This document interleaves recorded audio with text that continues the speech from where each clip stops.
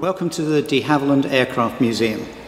In this video, we're going to talk about a top secret project, Spider Crab, a 1943 jet fighter, also known as the DH-100 Vampire, the first jet to be created by de Havilland.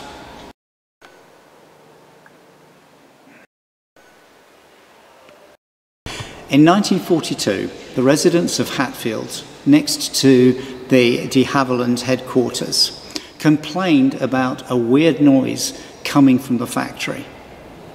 De Havilland's response was this was just another generator that was being used.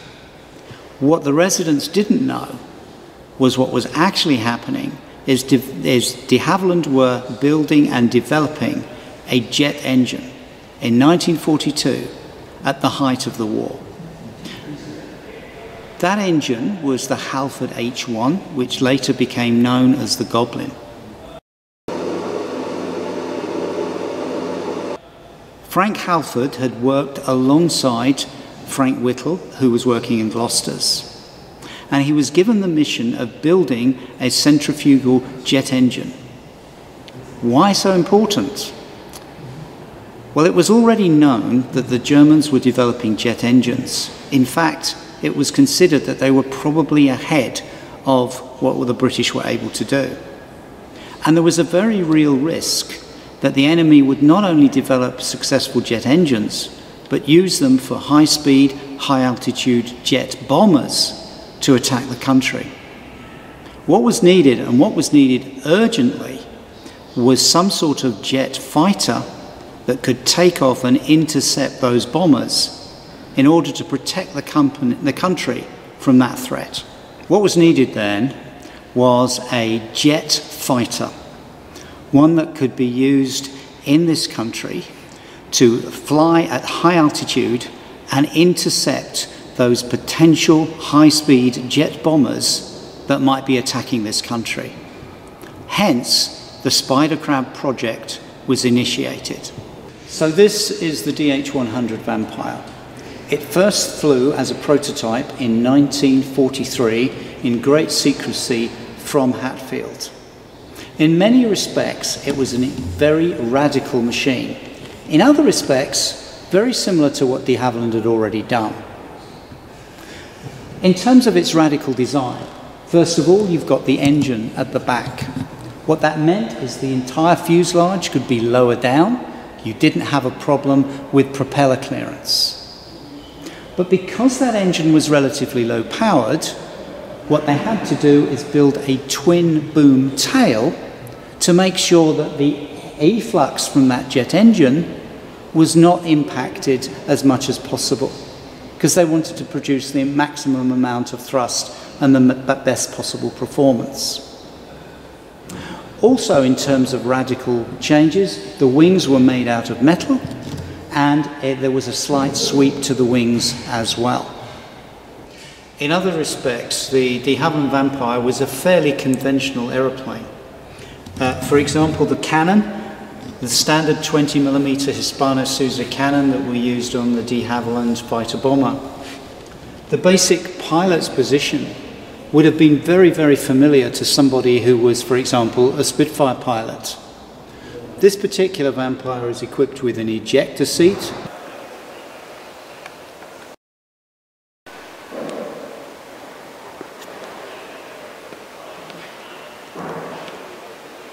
but they didn't actually come in until after the Second World War.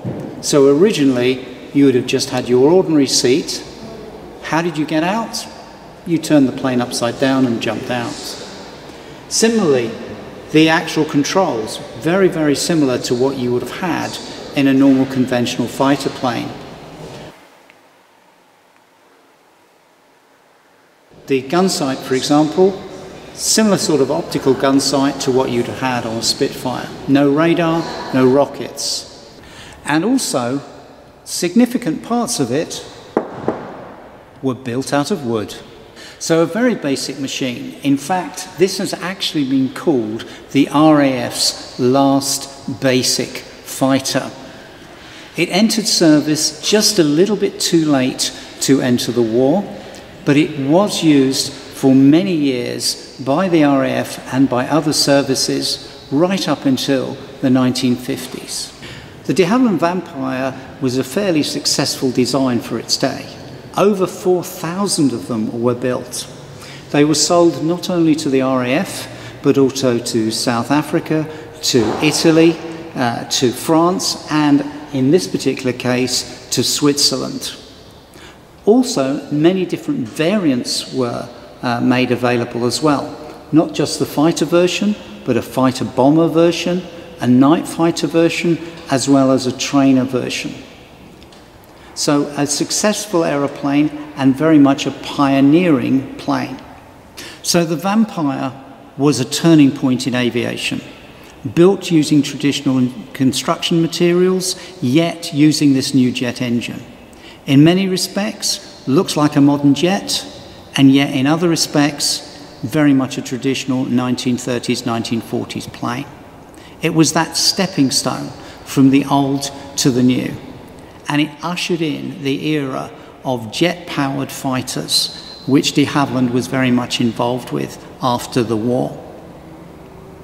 At the museum, we've not only got this magnificent example of a fighter bomber version of the Vampire, we've also got the Vampire trainer out in the field. We have got exhibits also of the Venom, which followed it, and exhibits on the Sea Vixen, which followed that. So you can see the lineage when you come and see, come to the museum. You can see the lineage of those different planes.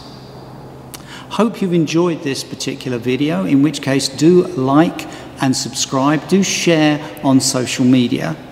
Also, come along to the museum and see for yourself. See you at the museum.